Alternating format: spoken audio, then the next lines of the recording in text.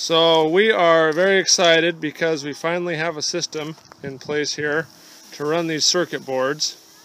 And I have four different bins. I just got back from the scrapyard and picked through their electronic boards and circuit boards. And I've kind of tried to separate them into four different categories.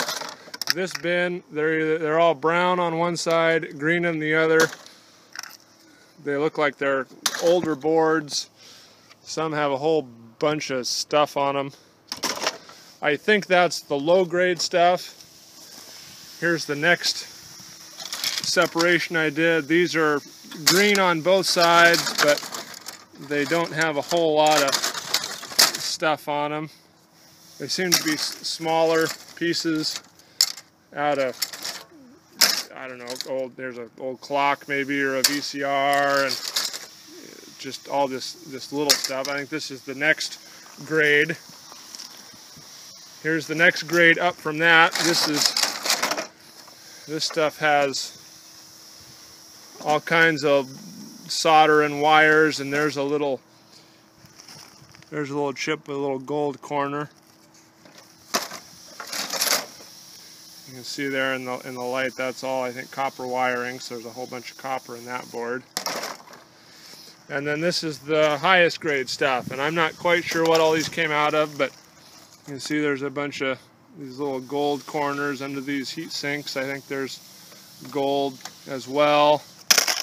All these these different boards. Some of you guys probably know exactly what these came out of, but there's a little gold chip corner. There's one there as well on this board. Here's some more. I don't know if this is quite in focus. There's another gold corner, gold corner. So what we're planning on doing here here's our here's our system. Here's our hammer mill. I have it bolted to a couple of ecology blocks. A chute right down onto our, our shaker table.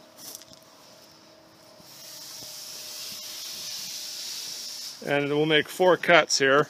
Try and get out of the sun. This first bucket in this green tub is the waste, the tailings. There, there won't be any metal left in that. This next bucket here in the black tub is what we call the middlings. That's where most of your copper is going to go, and maybe your, your solder as well. And then out of these two ports here, this one on the left is the highest grade. That's where all your free gold is going to go and all your very most dense stuff. And then this one here is called, uh, we call it the number twos. And these are your two safety grooves and the material that uh, is is the heaviest but not quite heavy enough to make it into the gold hole. The number one will go into the number two. And there's the there's the system. It's a hammer mill and a wet shaker table. And I'm going to start with these this lowest grade stuff, what I'm calling the lowest grade stuff, and we'll run all that and show it running on the table. Then we'll step up to the blue bin and then go all the way up till we're running the what I call the highest grade stuff. Whether it's the highest grade or not, we'll we'll see. But um, anyway, we'll get this going here and show you how it works on the table.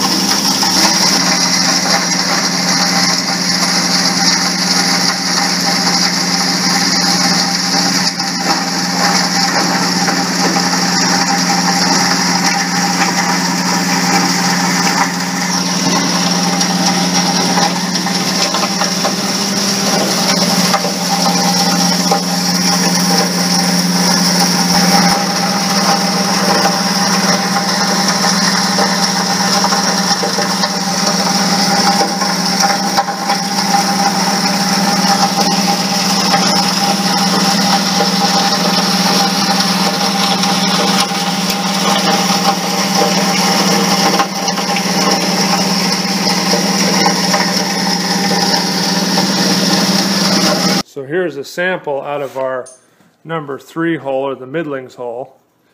And you can see there's a bunch of copper in there, but it's also mixed with a bunch of board still. And uh, for this first trial one, run, we didn't really have the, the splitter in the right place between the middlings and the tailings. So you can probably clean that up quite a bit just with by adjusting the splitter.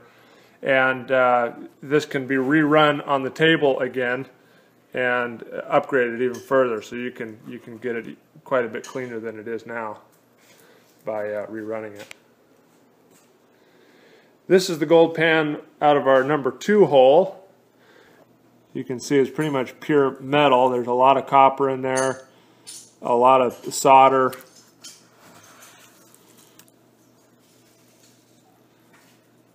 But I don't see any pieces of board or epoxy or anything like that. It's all it's all metal. And that gold pan there out of the, the number two hole, there's probably 20 or 25 pounds worth of stuff in there. So uh, it's, it's pretty, pretty dense stuff. And then here is our uh, stuff that we've panned out of the number one hole. And you can see the gold line up there in the, in the corner. Here's a close-up of that gold line.